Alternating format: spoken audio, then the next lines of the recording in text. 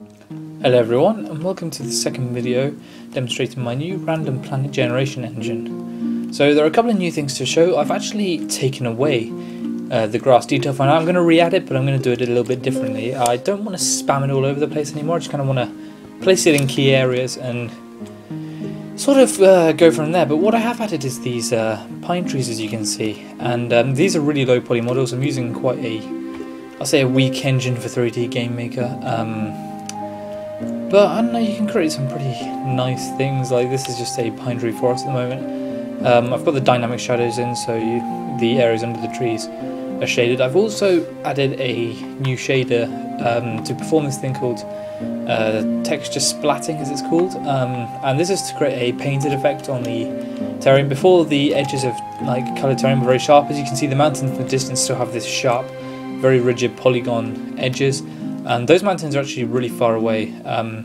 I'm gonna I'll fly to those at the end of the video, but as you can see, they're actually going to be quite far away in a number of chunks. Um, the view distance actually reduced in the moment because I've added this skybox which sort of cuts off a bit of the thing, and I'm still working on the sky. It's got this weird pinch effect at the top, but as you can see here, I've got the terrain splatting working here, and this just shows a really smooth blending between the snowy areas at the top of the mountain and the grassy areas below. Um, so I'm just going to walk up here. Uh, the game itself is still coming quite nicely. We've got a couple of new features in the gamepad itself, including this placement feature. Um, what you can do is you can click objects in your inventory, right click and you can place them. Um, we've got this nice little sort of 3D placing thing going on. Um, so I place that TP down here. Um, this is actually going to be a shelter, so during like heavy weather or uh, night you'll be able to sleep in there and we've also got this little campfire thing. You can't light it yet. Um, we also had to disable shading uh, because shading didn't stack with the shaders. And uh, shading does help to add a lot of depth to the world, so it's a little bit of a shame that we've had to turn that off. I'm currently trying to work out alternatives of uh, how I can still pull off the uh, shading without having to worry about not having the actual shading code. Um, but the most important thing that we've added is actually going to be uh, this new weather engine. First, I'm just going to fly down here quickly and show you by the water. The water's a bit glitchy, but as you can see, huge landscape. Like walking this take a good amount of time. But we've also got this sort of terrain splatting here, um, creating this smooth edge between the terrain. So I'm going to fly back up here, and I've completely forgotten where my little camp was. So oh, if I find that again, then that'll be a miracle. I'm probably not going to find it again. If I go to the top of the mountain, I might be able to see down. So I'm just kind of flying because it saves time. Uh, in the actual game, you won't be able to fly. You will be able to sprint, though. That's basically all I've done is I've just whacked up the uh, speed at which you sprint to 10 times. Um, but yeah, this okay, so this is quite nice, a nice little dense bit of forest right here, and the FPS is kind of dropped now. Um, oh, I believe this is because the chunks aren't unloading the trees properly, so it's actually regenerating the trees without unloading the previous trees. Anyway, it looks kind of cool. Um, but what I want to show you is these new uh, weather effects. So here I've got a nice rain effect. Um, it still needs some work. It's quite slow at the moment. I can change the speed at which the rain falls and the sort of intensity of it. This would just sort of be like a nice little gentle downpour. I also want to add like little splash wing, uh, splash rings um, to the ground um, as the rain's falling. But yeah, I do really like this effect. It does kind of good part if I whack up shelter. Oop, and I pressed R again. And yeah, this is the snow. So this is the really awesome thing here. Um, when it starts snowing, um, what you actually see is the snow actually starts to build up on these trees.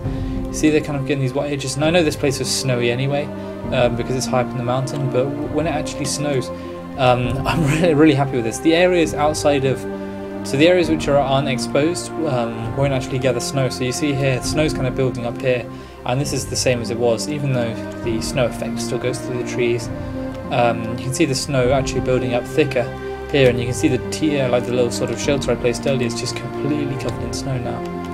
Um, and there's a little bit inside which isn't. Um, but yeah if I like fly back down the mountain so if I go over here you can kind of see how it works on the grassy areas. Um,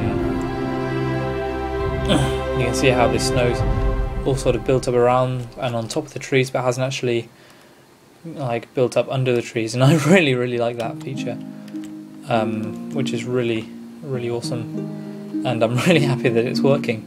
Um, I think it adds a lot to the environment of the game. So, like in a blizzard, like right now, um, I kind of want to make it so if you're out in the snow and you haven't sort of got thermal gear, you'll start to get cold, and if you get too cold, then you'll start dying and losing health.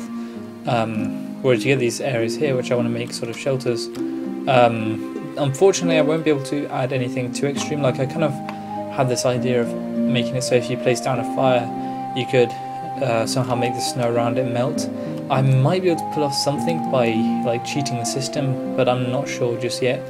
Uh, I'll have to see what happens really. Um, I do know a way I could do it, but it's not the most practical way. But yeah, this is the game so far. This is me walking through a forest in the snow. Um, what I'm actually going to do is I'm going to start up a new world and uh, quickly show you what it looks like if you fly across the world. So yeah, this is uh, the snow buildup effect. We've got the snow falling effect here. It looks a bit dodgy when it looks straight up. I plan on adding fog when it's snowing, so visibility gets limited, and uh, the tree density will actually be lower in the uh, in the game, just because it, like most people probably can't handle this many trees being rendered at once.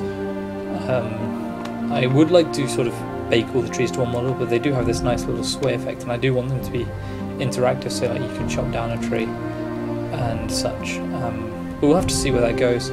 Um, ideally, I'd just love to be able to sort of max out performance, but at the moment, the like in this state with running fraps, the performance is kind of pushing the limits now what a game maker game can support, even on a strong PC. But yeah, um, really happy with this how this is turning out. This is a completely infinite.